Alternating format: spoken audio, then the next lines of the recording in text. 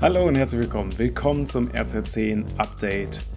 Ich berichte, was so die letzten Tage und Wochen gelaufen ist in der SAP-Community aus Sicht von Basis und Security. Mein Name ist Tobias Harmes und ich habe heute mitgebracht die SAP Tag Ad inklusive Learning Hub Zugang und den SAP Patch Day. Legen wir los.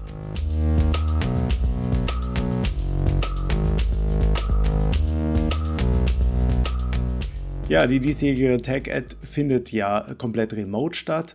SAP hat es wie viele andere äh, Hersteller getroffen, ähm, dass da ja die größte technische Veranstaltung, die äh, SAP hier zu bieten hat, ja leider äh, physisch ins Wasser fällt. Aber sie haben einen ja, 48-Stunden-Marathon aufgestellt, beziehungsweise sind noch dabei. Aktuell läuft die Tech-Ad noch und ja, Interessierte haben die Möglichkeit, sich hier bei der TechAd kostenlos zu registrieren. Das heißt, jeder darf teilnehmen und muss nicht extra äh, irgendwo nach Orlando oder sonst wohin in die Welt fliegen, sondern kann live daran teilnehmen. Ja, wer sich für, dafür begeistern kann, und ich kann mich dafür begeistern, ja, und ich empfehle es auch, der hat hier eine Menge Auswahl an äh, Content, äh, an Informationen zu aktuellen SAP-Entwicklungen. Einerseits der Jürgen Müller, der CTO von der SAP, ähm, erklärt hier, ähm, was so die strategische Ausrichtung ist, ähm, wie sich SAP hier technisch aufstellt mit der Business Technology Plattform. Und ja, gestern habe ich die Keynote gesehen und auch in einige Sessions reingeguckt. Und das Schöne ist, dass man sich hier ganz viel auch dann hinterher als Aufzeichnung ansehen kann.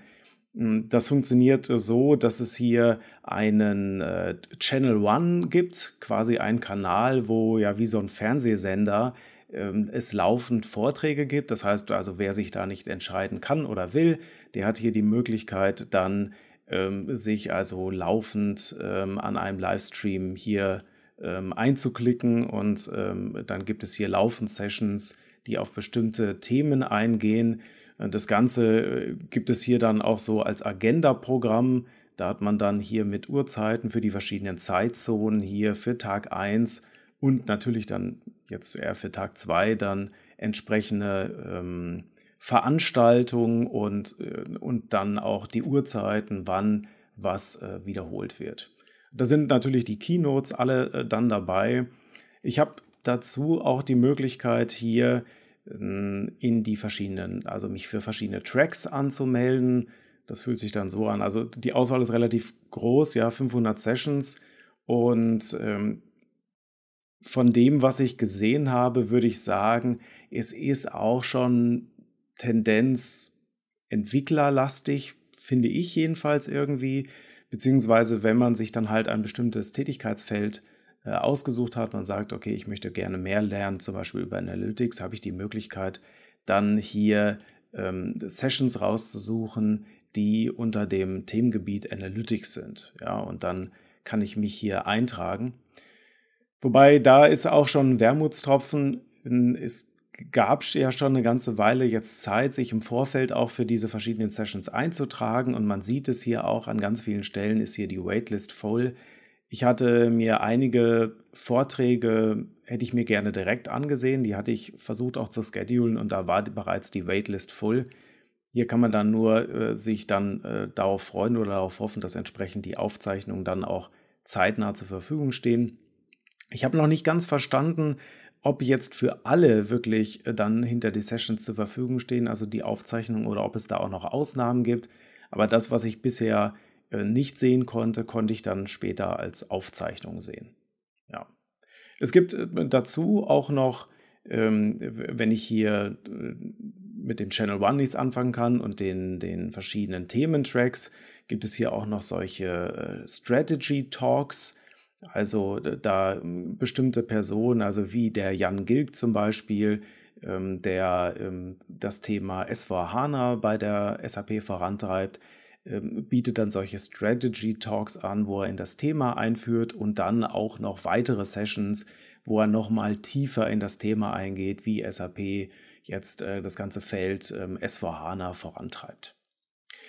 Ja, also insgesamt finde ich persönlich, äh, ist es eine interessante Veranstaltung. Es gibt auch hier, äh, wenn man sich jetzt zum Beispiel die Keynotes ansieht oder so äh, und, und hier die Sessions, das sieht alles sehr hochwertig aus, ist gut anzusehen, also nicht irgendwie zusammengestümpertes äh, Web-Session-Chaos. Wobei einige Sessions dann halt auch einfach damit arbeiten, dass die entsprechenden Referenten nicht vor Ort in Waldorf oder wo auch immer sind, äh, sondern auch per Zoom zugeschaltet aber von dem, was ich gesehen habe, ist das alles ganz nett gelöst. Und äh, der, äh, das Studio, aus dem da gesendet wird, äh, ist, Fun Fact, ein bisschen aufgebaut wie die Technik hinter Mandalorian, falls euch, äh, falls ihr die Fernsehserie kennt und sie seht, ja, ansonsten meine wärmste Empfehlung. Äh, da ist nämlich dieses ganze Studio eben nicht mit Greenscreen gemacht worden oder Bluescreen, wie man das viel verwendet, sondern ähm, es ist äh, mit äh, großen LED-Panels gelöst worden, die also riesig rund um die Person herumlaufen. Äh, und ähm, wenn also der Referent, äh, derjenige, der die Keynote hält, wie auch immer, dann da steht, ähm, kann er sehr dynamisch mit äh, Informationen angereichert werden. Also es ist schon noch eine Stufe also zwei Stufen stärker als äh, das Tagesschau-Studio, was man so kennt, was ja auch schon sehr dynamisch ist und macht tatsächlich ein gutes Bild. Also sieht ganz gut aus, nett anzusehen, interessante Inhalte, natürlich alles auf Englisch, ähm, aber untertitelt ganz viel. Und äh, es ist schon interessant, wenn man jetzt ähm, sieht, dass der äh, Jürgen Müller da dann auch nochmal erklärt, okay, was steckt hinter der Business Technology Plattform und äh, wie ist das gedacht und hm, auch so Themen wie, ja, äh, ABAP, ist das jetzt eigentlich noch relevant oder kann das weg? Äh, wo dann auch das Commitment gegeben wird oder das Versprechen, nein, ABAP ist weiterhin relevant, wir bringen es sogar in die Cloud, äh, wir machen es cloudfähig, das heißt also Leute, die da ähm, investiert haben in ihre eigenen Skills, ähm, schützen sozusagen nicht nur die Kundenentwicklung sozusagen, also die Eigenentwicklung, sondern auch ihr Skillset und können das weiterverwenden. Also äh, man merkt, es geht jetzt auch nicht nur um äh, die klassischen Business-Folien, sondern auch hier wird äh, Community Building gemacht und SAP bemüht sich redlich über verschiedenste Wege, hier die Personen oder die Menschen zu interessieren, zu gewinnen für das Thema, für das Ökosystem von SAP und dann auch die Leute zu motivieren, an der Community teilzunehmen. Ja, äh, die äh, dazu beitragen äh, wird sicherlich auch äh, die Ankündigung, dass es eine äh, vom SAP Learning Hub, was ja im Prinzip das E-Learning vom äh, Angebot von der SAP ist, dass es da eine Event Edition gibt für die SAP Tech Ad und das wäre dann vielleicht auch etwas für euch, wo ihr sagt, ja, selbst wenn ich jetzt an der Tech-Ad nicht so konkret teilnehme, das wäre vielleicht trotzdem interessant für mich. Es gibt hier die äh, Event Edition, äh, wo es dann auch einen Rabatt gibt auf die, ähm, auf einige der Zertifizierungen. Also da kriege ich so einen Discount-Code und dann kostet die äh, Zertifizierung irgendwie nur 500 anstatt 1000 oder wie auch immer, ja. Und ähm, es gibt einige Kurse hier, also ihr, ihr, könnt euch dann da in diesen, äh, in den, in diesen Lernbereich einklinken und äh, es, äh, es, es sind spezielle Learning Journeys angelegt worden und auch zur Verfügung gestellt worden. Und diese Learning äh, ähm, Journeys bieten dann zum Beispiel die Möglichkeit zu sagen, ich möchte gerne mehr wissen über die SAP Business Technology Plattform, weil das jetzt hier irgendwie das neue Buzzword ist, was hier äh, betrieben wird. Ne? Also diese äh, diese Idee, ähm, es wird jetzt nicht mehr von ABAP-Stack geredet oder Java-Stack, sondern irgendwie, ähm, da gibt es äh, dann, der ist einfach da und ähm, der läuft auch nicht in meinem Keller, sondern wahrscheinlich auf dem Hyperscaler, also bei AWS oder sonst irgendwo. Und ich kann einfach hier auf dieser Business Technology Plattform aufsetzen. So, und äh, was steckt da genau dahinter? Was gehört dazu? Und dann gibt es hier solche Learning Journeys, wie man sie auch von Zertifizierungen kennt. Und diese Learning Journeys springen dann halt ab in bestimmte Informationen, zum Beispiel auf OpenSub-Kurse oder etwas, was dann halt in dem Learning Hub äh, hinterlegt ist. Ähm, da kommt man dann hier in zum Beispiel die Keynote ähm, von dem Jürgen Müller und kann sich die äh, hier dann nochmal ansehen. Für die, die das jetzt nur hören, die können das natürlich nicht sehen, aber diejenigen, die es sehen, da sieht man hier auch dieses fancy Studio, also jedenfalls in der, in der Ausprägung, wo dann dynamisch äh, Dinge eingeblendet werden können. Das haben die schon ganz nett gemacht. Ja, also zurück zur Learning, äh, zum Learning Hub. Die Event Edition, die ist halt verfügbar vom 1. Dezember bis 31. März 2021. Also in diesem Zeitraum äh, kann man da auf Inhalte frei zugreifen. Und ich habe mal nachgeguckt, was da so heraussticht. Also ich kann dann zum Beispiel ähm, solche Zertifizierungsvorbereitungen machen für die Themen SAP Cloud Plattform Enterprise Extension, äh, SAP Cloud Plattform Integration. Ich denke, das dürfte wirklich auch den einen oder anderen interessieren dann, ja. ABAP Programmierung für SAP HANA und SAP UI5 und SAP Fiori Applications. Also wer damit immer schon mal spielen wollte, seine eigene Fiori-App zu bauen, der wird hier sicherlich auch etwas finden. Diesen kostenlosen SAP Learning Hub Zugriff gibt es nur für diejenigen, die sich für die SAP Tech Ad registriert haben. Das heißt also, und da weiß ich jetzt das habe ich nirgendwo gefunden, wie lange das noch zur Verfügung steht. Ähm, da die Tech-Ad jetzt äh, ja zeitlich gesehen bis morgen geht, also bis äh, Donnerstag, den 10.12., werdet ihr wahrscheinlich jetzt noch die Chance haben, dann mindestens bis Donnerstag euch zu registrieren. Vielleicht geht es auch länger. Müsst ihr mal schauen. Ja. So, ähm, was äh, würde ich euch gerne zusätzlich noch mitgeben und nur der Hinweis hier drauf, es gibt eine, ähm, einen sehr guten SAP Tech Ad Guide im äh, Blog SAP.com und äh, der ist von dem Dennis van Kempen und das ist wirklich eine super Zusammenstellung, äh, wo zum Beispiel auch die Learning Journeys hier aufgeführt worden sind. So eine Art äh, Cheat, Cheat auch ähm, wird hier äh, wird darauf verwiesen, und hier gibt es von Teaser über was findet man wo, wo meldet man sich an und ähm, welche, welche URLs, welche Ressourcen sollte man Zugriff haben, äh, Twitter, Hashtags und so weiter, Livestream, YouTube-Channel, you name it. Und die Learning Journeys hatte ich schon eben erwähnt. Genau, das hatte ich auch noch nicht gesagt. Welche gibt es hier noch? Äh, von den Learning Journeys, also was will man lernen? Äh, Analytics kann man lernen, äh, Application Development, Integration, Customer Experience, Database and Data Management, Digital Transformation with Intelligent, Intelligent ERP, Integrated Intelligent Suite, Intelligent Technologies. Es ist alles sehr intelligent. Und äh, es ist auch, da kann man jetzt ein bisschen drüber schmunzeln, äh, es ist natürlich amerikanisch angehaucht. Das heißt, es ist manchmal so wonderful to be here and thanks for having me. Aber wenn man darüber ein bisschen wegkommt, ähm, ist das hier wirklich klasse Content, der hier äh, verdichtet zusammengeführt worden ist. Ja. Also ihr merkt schon, meine Empfehlung. Okay, das waren die äh, schönen Sachen, äh, die ich mitgebracht habe. Und äh, es gibt auch noch den SAP Patch Day.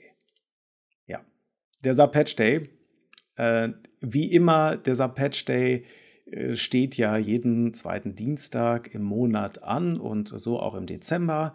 Und der äh, diesmonatige oder der Dezember Patch Day hat elf Security Notes mitgebracht und zwei davon sind Updates äh, von vorherigen äh, Patch Days. Und es gibt hier immer dann so eine schöne Statistik, die ich gerne äh, zeige, wo man dann sieht, okay, wie viel sind davon Hot News und wie viel sind High. Und äh, diesen Monat im Dezember gab es vier Hot News und zwei High News und Medium und Low. Die schaue ich mir in der Regel nicht so sehr an, ja. Und was gibt es zu erwähnen oder was äh, muss man da wissen? Äh, ich habe es hier mal, ich habe mal die aus meiner Sicht vier relevanten hier zusammengestellt. Mit einem Highscore von 10 von 10 äh, kommt da Missing Authentication Check in SAP NetWeaver AS Java. Also der AS Java ist betroffen. Und was ist hier das Problem?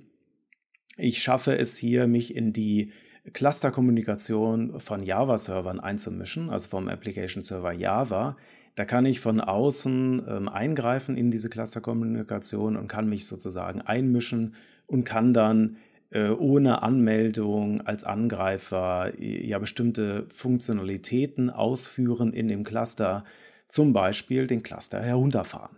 Ja, also es ist natürlich nicht so optimal oder es ist eine Vollkatastrophe.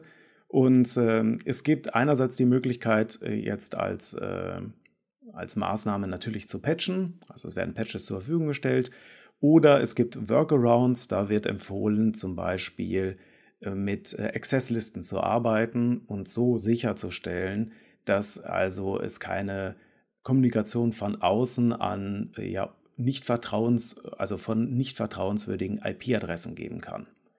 Ja, das sollte sowieso jeder einstellen, dass da der Cluster nur sozusagen auf sich selber hört, äh, beziehungsweise auf seine vertrauensvollen Knoten. Aber das würde man dann hier machen. Äh, in, und das äh, ist in dem SAP-Hinweis hier auch entsprechend beschrieben.